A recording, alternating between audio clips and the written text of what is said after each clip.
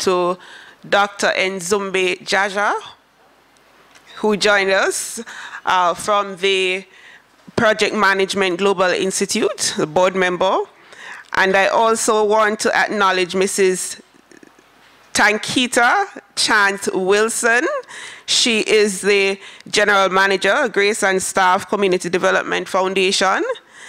So welcome, uh, Mrs. Wilson. Oh, thank you for that. So Mr. Omar Frith, De Deputy Executive Director, Social Development Commission. Welcome, sir. Welcome.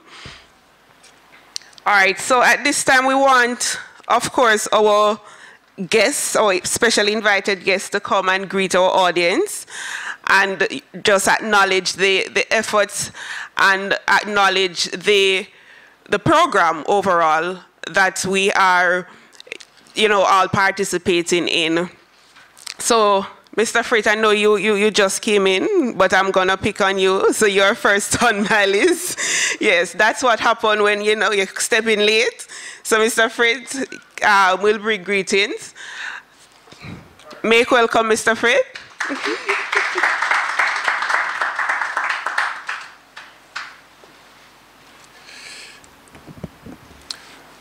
I'm going to perhaps assume that all protocols were already observed in my absence. So permit me to just say good morning, everyone. So I've been rewarded for coming late. That's quite unusual. Let me, on behalf of the Social Development Commission, of course, commend the PIOJ and all the other members who have collaborated to make this project a possibility. But my greetings this morning will be most centered around our participants, so don't get jealous. But uh, allow me to you know, acknowledge the absence of our executive director, Dr. Dwayne Vernon, who also sends his greetings.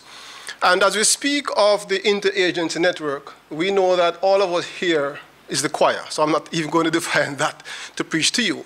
But I just want to say to our participants, there are three things I want to share with you from both the SDC's perspective and from my point of view that participation and collaboration speaks to three key things, and I don't want you to forget those three things. The first one is democracy, and this is something I'm passionate about. We just want to remind you, our young people, that democracy is not just your right to exercise your franchise. That's excellent. It is great to have an opportunity to cast a ballot once every four or five years. But the ultimate show of democracy is in your ability to determine that you can contribute to the future and destiny of your communities. And our democracy must be demonstrated in the institutions that facilitate your development, facilitate your empowerment, so that you can have a voice. You have a voice, but your voice must be heard. And so when you're trained and you receive these various certifications, they're not just for show. They are giving you an opportunity to participate and define how you see development in your communities, how you see development in yourself, as an agent of change for this country. And ultimately, it allows you to ease back from the attitude of saying, when you see a problem in your community, uh, what am I going to do about this? Rather, we are going to say, what are we going to do? Because you're empowered and you're part of a democratic institution. And that's what empowerment is about, and that's what the IAN is really about, bringing participation, including yours. And secondly, that segues into the other thing I want you to remember, teamwork. We speak of collaboration and partnership in general. But one of my greatest mentors, John C. Maxwell, many of you may know him, a great writer, he speaks of the 17 indisputable laws of teamwork. And in it, he has what is called the law of significance, law number one. And he says, one is too small a number for greatness.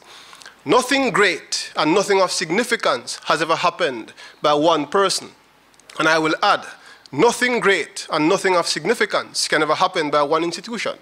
And this is why, for us, this is not just symbolic, it is the essence of making change. Significance will require teamwork. And as you become empowered, know that you are not just one, but you are one of many.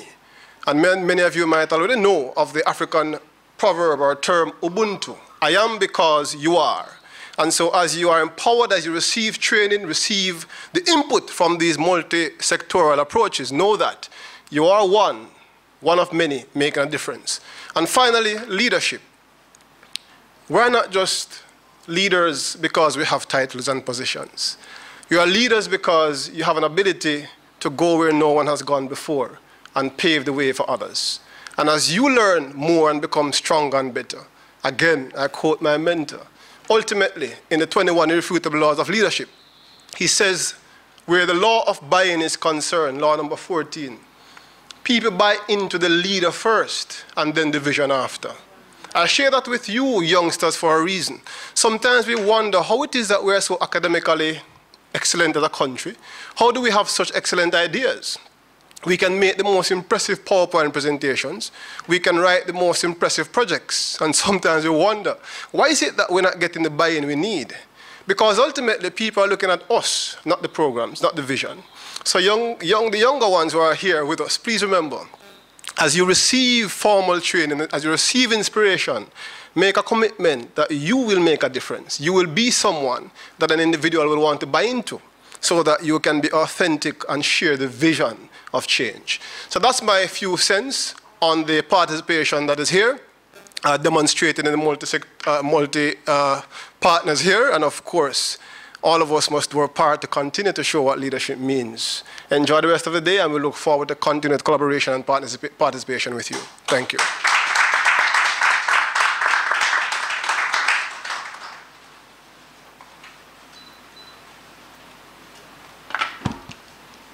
Thank you, Mr. Frith. Indeed, leadership, teamwork, and democracy is definitely a part, an essential part of us making that change. So thank you very much for that, Mr. Frith. So next we will ask Ms. Rihanna Wright, our director, Heart Regional Director, my regional director, that is, Heart NSTA, to bring greeting. Make welcome Ms. Rihanna Wright.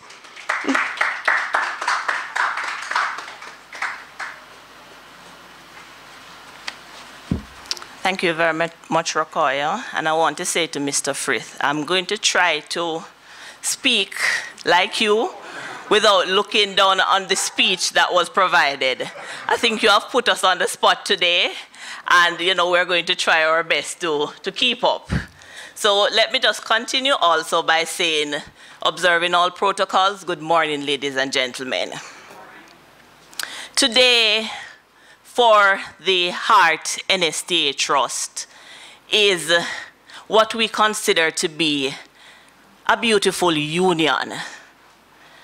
Heart, we're in the business of empowering our human capital, but we can't do that without partnerships like these whether they are small, medium size, or large. And this is what this partnership represents. We say to our youth, we will leave no one behind. Leaving no one behind means that we have to find them in their communities. And this is what this partnership represents. You know, we sit down and we wait on them to come to us because we believe that they need to be empowered. They need to be trained, they need to be certified, and all of that. However, sometimes they need us to come to them. And this is what this has done. So we just want to say thank you to the PIOJ for including us. Thank you, Dr. Henry, for including us. Um, and we are, we, are, we are delighted to be adding to this partnership by recruiting along with SDC, you know SDC is community. So we can't go in community without um, engaging SDC. We can't go in the communities without engaging the CDC. So along with them, we recruit the young people, we provide the necessary core skills training, and we talk a lot about core skills training, and it is so important, especially in the 21st century because a lot of times we provide the technical training. However, the life scope, um, coping skills that our young people may need to really function in society is so critical. And a lot of time, whether they go on to be entrepreneurs or they go on to serve in companies or employers will say, we're going to do some training. Training is very important. Certification is very important. But when they come, we want to ensure that they can function with other people. And that is why we believe core skills training is so important.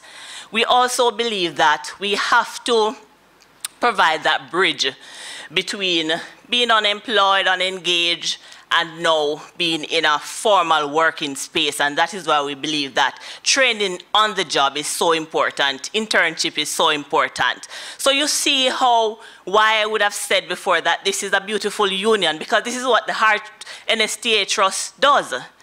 So when the PIOJ came to us and, um, you know, pitched this partnership, I mean, we didn't even have to think about it because, you know, this partnership was helping us to continue to fulfill our mandate. So we provide, we continue to provide or to give the commitment that for as long as this partnership continues, or if there's a new partnership that provides this same kind of opportunity, the Heart NSTA Trust will be here We'll be here to partner with you, our stakeholders, to ensure that we serve our young people because they are the future and our mandate is to ensure that we serve them to the best of our abilities.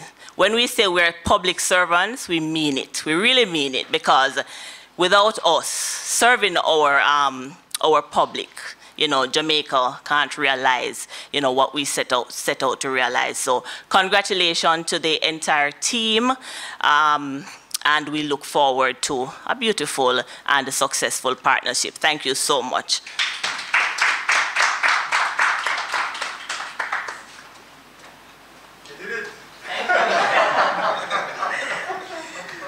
yes, she did. Thank you. Thank you for that, Ms. Wright. All right, before we, we move along, let me just pause to, to welcome the Deputy Parish Manager, Judith Taylor, uh, from SDC. Welcome, Ms. Taylor. All right, so moving right, moving right along, we want to invite Colonel Rickman, National Coordinator, Hope Program, to bring greetings.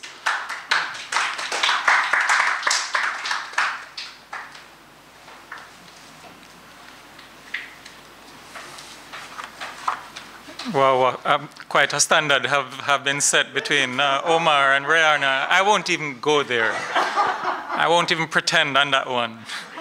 Dr. Henry, Dr. Edwards, um, uh, Rihanna Wright, Omar Frith, Charmaine Brim, um, the, uh, Dr. Jaja, um, to all of the friends and the, uh, the uh, supporters, the partners in this uh, such an important initiative, which I think is going to take off even more.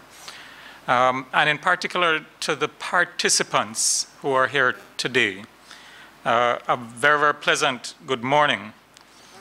Um, so I am particularly pleased uh, that we have